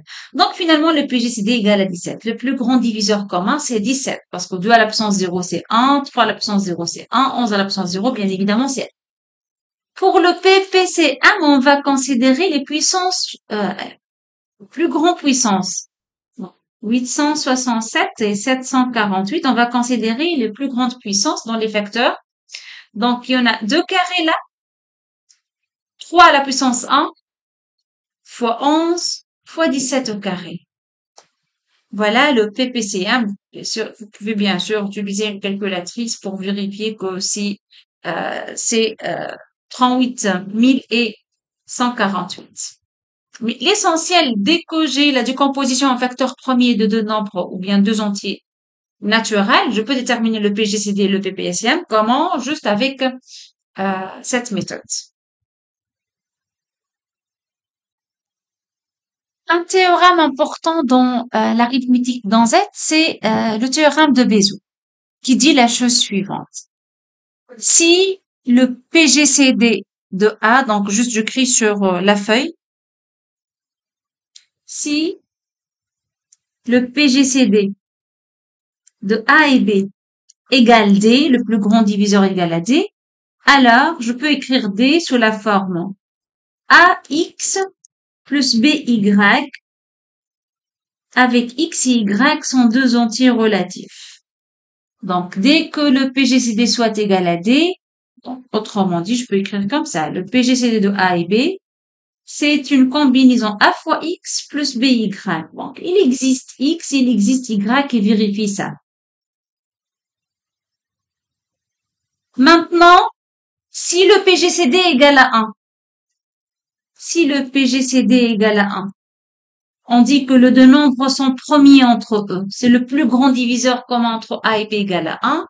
Alors, 1, je peux l'écrire comme A fois X plus B fois Y avec X et Y deux entiers relatifs. Certainement, on est sûr qu'il existe un X et Y qui vérifie ça. Et encore plus maintenant. Si on a un vecteur X et un, euh, pardon, un, un, entier relatif X et un entier relatif Y qui vérifie ça, alors aussi je peux revenir ici. Alors le PGCD de A et B égale à 1. Donc, en résumé, on écrit PGCD de A et B toujours égal à X plus BY. Donc, il existe XY dans Z tel qu'on a le PGCD de A et B égale à X plus BY. Mais, si on a trouvé ça d'une part. Mais si il existe XY dans Z tel que 1 égale à x plus by, alors nécessairement 1 est le PGCD de A et B. Donc, juste quelle est la différence entre, vous pouvez me demander quelle est la différence entre cette première, euh, euh premier résultat et ce deuxième résultat? Donc, la différence ici, et là, c'est que le PGCD s'écrit comme ça, mais pas forcément si j'ai trouvé une écriture euh, AX plus BY égale à, égale à D. Donc, si AX plus BY égale à D, pas forcément D est le PGCD. Donc, si tu trouves une telle écriture, pas forcément que D est le PGCD. Mais on est sûr que si D est le PGCD, alors D s'écrit sous la forme AX plus Y. On peut trouver un XY. Dans, dans un sens, si D est le PGCD, alors D s'écrit comme combinaison de euh, A et B. Mais pour le 1, il y en a deux sens. Pour le 1, si AX plus BY égale 1, tu peux dire que 1 est le PGCD. Et si le 1 est le PGCD, alors tu peux dire qu'il existe un XY qui vérifie ça. Voilà pour la relation de Bézout. Euh, voilà maintenant dans ce dernier, cette dernière partie euh, de cette vidéo, on va parler de l'arithmétique des classes modulaires. Donc, je rappelle encore une fois la définition de A euh, est congru à B modulo n, on a dit si la différence, je dis que A est congru à B modulo n, si la différence euh, A moins B est un multiple de n, ou encore n c'est un diviseur de A moins B. Euh, donc, je sais très bien que la relation de congruence modulo n, c'est une relation d'équivalence, c'est-à-dire le fait que A moins B sera un multiple de n, ça c'est une relation d'équivalence entre A et B. Et donc on peut parler des classes d'équivalence. Juste, je rappelle quelques exemples. Si je travaille, le premier exemple, je travaille pour n égale 3. Donc je considère cette relation que je peux noter par R3 par exemple, juste pour savoir que je travaille euh, dans le cas où n égale à 3. Je dis que A est en relation à B si seulement si A moins B est un multiple de, de, de 3 est congru à 0 modulo 3. Ou encore, je peux écrire A est congru à B modulo 3. Ou tout simplement, je dis 3 divise A moins B. Donc, ce sont des trois écritures équivalentes. Donc, on a dit que cette relation R3 est une relation d'équivalence. Et comme c'est une relation d'équivalence, je peux parler alors des classes d'équivalence. On va remarquer que les classes d'équivalence, la classe de 0, la classe de 1 et la classe de 2. Finalement, il y en a trois classes d'équivalence. C'est-à-dire, on peut, selon cette relation, on peut faire une repartition, on peut repartir le nombre, euh, les nombres relatifs euh, positifs et négatifs, donc les nombres dans Z, sur trois classes, moins 1, moins 2, moins 3, moins 4, 1, 2, 3, ainsi de suite, on peut repartir sur trois classes. La classe de 0, c'est quoi? C'est-à-dire ce sont les multiples de 3. Donc les multiples de 3, c'est-à-dire 0, 3, moins 3, 6, moins 6. Donc la classe de 0, c'est un ensemble qui contient les multiples de 3. 0, 3, moins 3, 6, moins 6, 9, moins 9, euh, ainsi de suite, 12 et moins 12, etc. Donc, dans la classe de 0, on a les multiples de 3. Dans la classe de 1, qu'est-ce qu'il y a? On a les entiers naturels qui s'écrivent comme multiples de 3, 3k plus 1. C'est-à-dire, comme quoi? 1, par exemple, parce que 1, je peux l'écrire 3 fois 0 plus 1. 4, c'est un multiple de 3 qui est 3 plus 1. Euh, donc, on a dit 1 4, 7 euh, aussi. 7 parce que 7, c'est un multiple de 3. 7, tu peux l'écrire 2 euh, fois 3 plus 1. Donc, c'est un multiple de 3 plus 1. Ainsi de suite. Donc, la classe de 1, c'est, dans cette classe, il y en a tous les entiers qui sont qui s'écrivent sous la forme 3k plus 1. La classe de 2 maintenant, la classe de 2, ce sont tous les entiers naturels qui s'écrivent sous quelle forme? 3k plus 2. Donc, c'est écrit sous la forme 1 multiple de 3 plus 2. Donc, c'est tout. Pourquoi? Parce que, euh, regardez par exemple, si je considère n'importe quel chiffre maintenant, 17 par exemple, 17, il est dans la classe de 0 ou bien la classe de 1 ou bien la classe de 2. On va faire la division par 3. 17 divisé par 3, bien sûr, on va trouver euh, 8, euh, pardon, 5, et le reste c'est 2.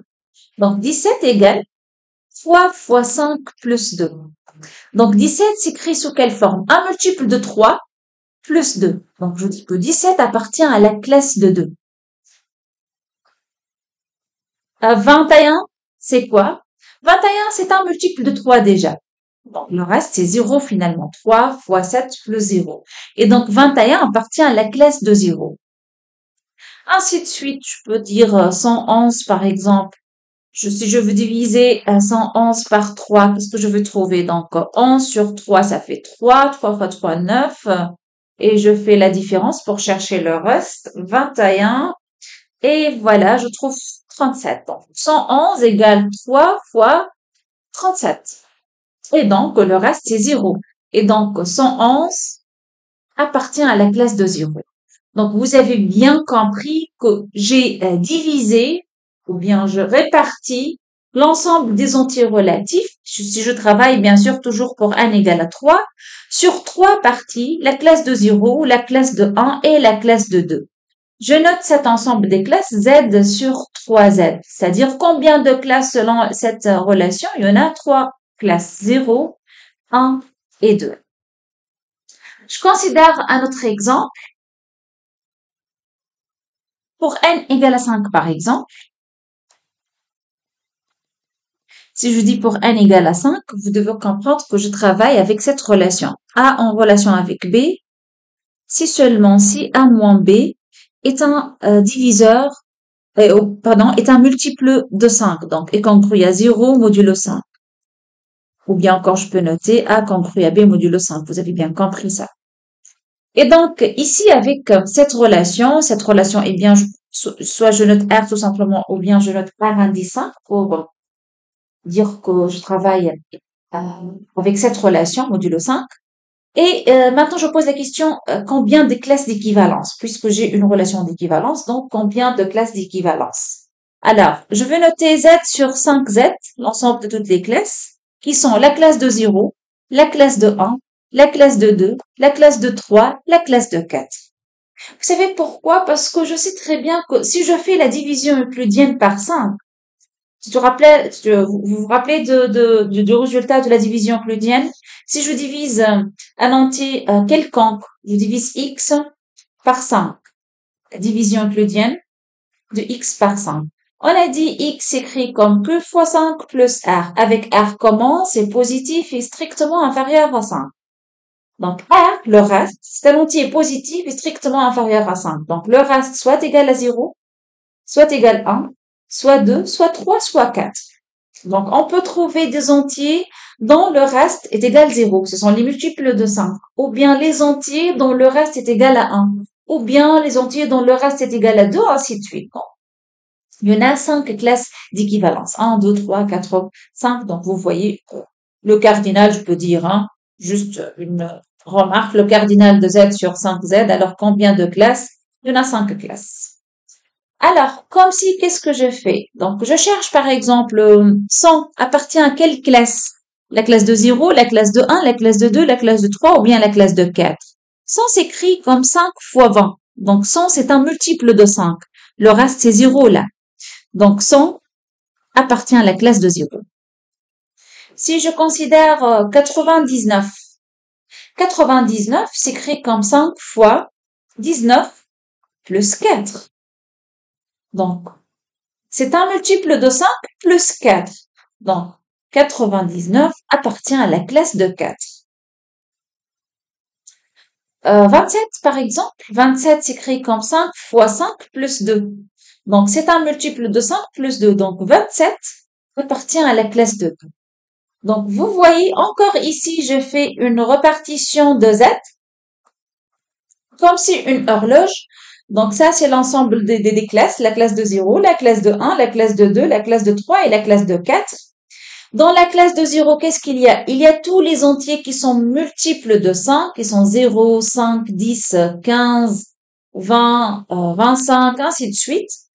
Moins 5, moins 10, moins 15, aussi moins 20, etc. Dans la classe de 1, euh, il y a les, les entiers qui, euh, qui sous la forme 5k plus 1 un multiple de 5 plus 1.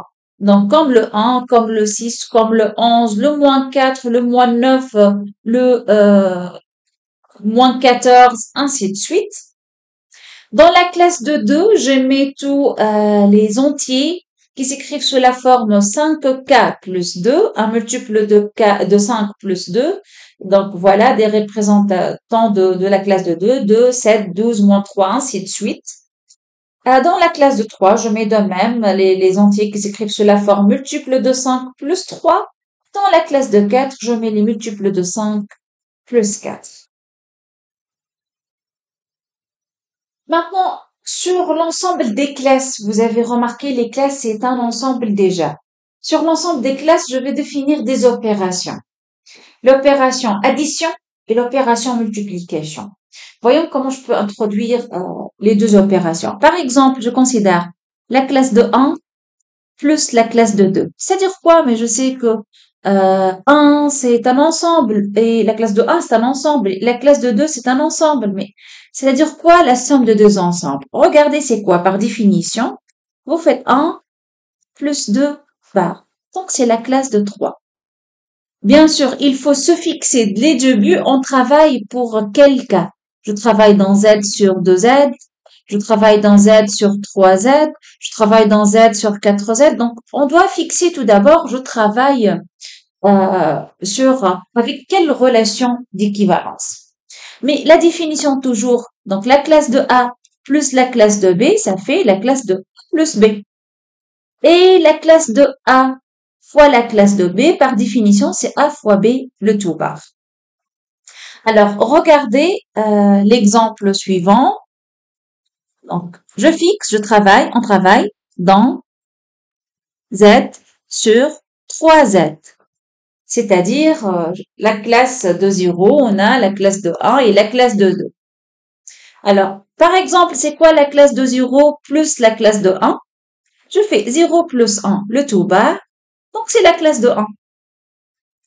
Euh, c'est quoi la classe de 0 plus la classe de 2 C'est 0 plus 2, le tout bas. Donc, c'est la classe de 2. Euh, c'est quoi la classe de 1 plus 2 Regardez, on va trouver la classe de 3. Mais n'oubliez pas, la classe de 3, c'est quoi? C'est les éléments qui s'écrivent sous la forme 3K plus 3. Mais 3K plus 3, c'est un multiple de 3. Donc, euh, c'est un multiple de 3. Donc, la classe de 3 est elle-même, c'est la classe de 0. 2 plus 2. La classe de 2 plus la classe de 2. C'est la classe de 4. Mais remarquez que 4 là s'écrit comme un multiple de 3 plus 1. Donc la classe de 4, c'est la classe de 1. Parce que 4 et 1 sont en relation. La classe de 1 plus la classe de 1, c'est la classe de 2. Voilà, donc juste un exemple, comment je peux opérer sur les classes d'équivalence. Même chose là, la classe de 0 fois la classe de 1, c'est 0 fois 1. Le tout bar, c'est 0 bar. La classe de 1 fois la classe de 1, c'est 1 fois 1 le tout bar. Ça fait 1 bar. La classe de 2 fois la classe de 2, ça fait combien? 2 fois 2, c'est 4. Et la classe de 4, on a dit, c'est elle-même la classe de 1. Donc voilà les opérations sur euh, les classes d'équivalence. On peut bien sûr représenter les opérations par addition simple comme j'ai fait dans euh, sur le papier ou bien comme ça euh, plus dans un cercle pour dire que je fais la somme, c'est pas une somme classique, mais c'est une somme sur des classes d'équivalence.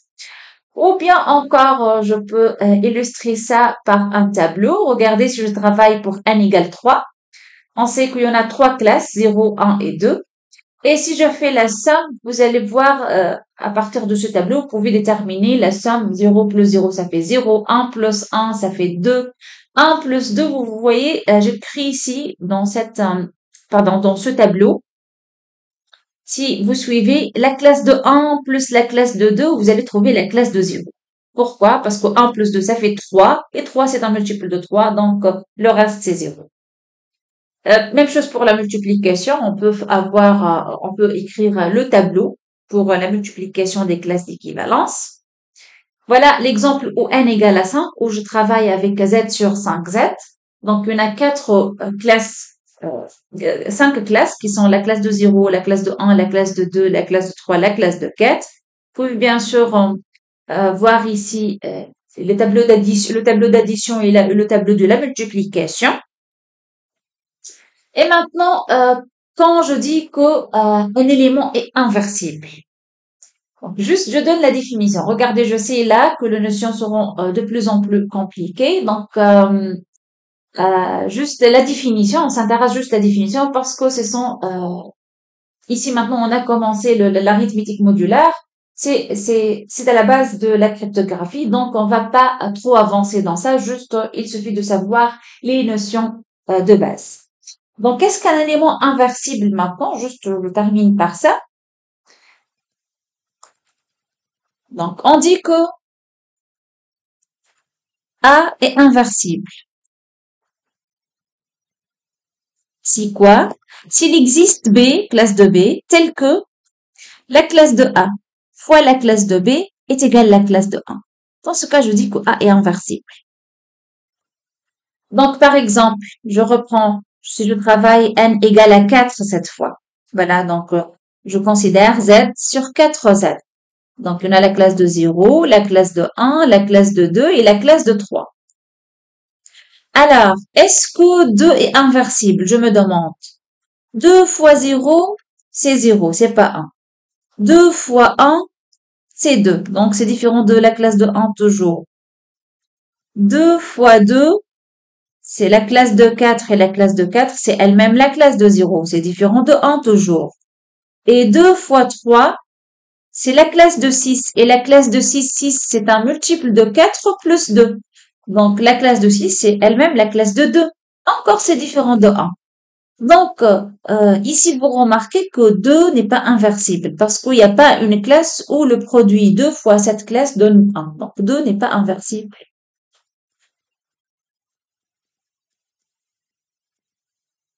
Dans Z sur 4Z. Je vérifie maintenant avec 3. Est-ce que 3 est inversible dans Z sur 4Z Donc, je multiplie 3 fois 1. C'est la classe de 3. C'est différent de 1. 3 euh, fois 2, ça fait 6.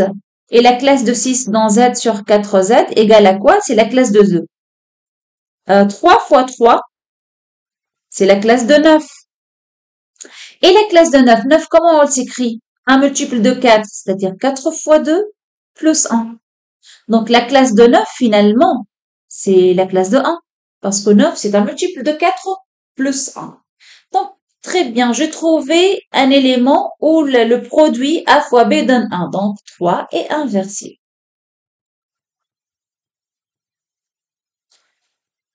Dans Z sur 4Z et euh, je dis que son inverse c'est lui-même parce que j'ai multiplié 3 barres fois 3 barres pour trouver le 1 et donc voilà l'inverse de 3. Voilà c'est tout pour cette vidéo. J'espère que la science était bénéfique pour vous. Au revoir.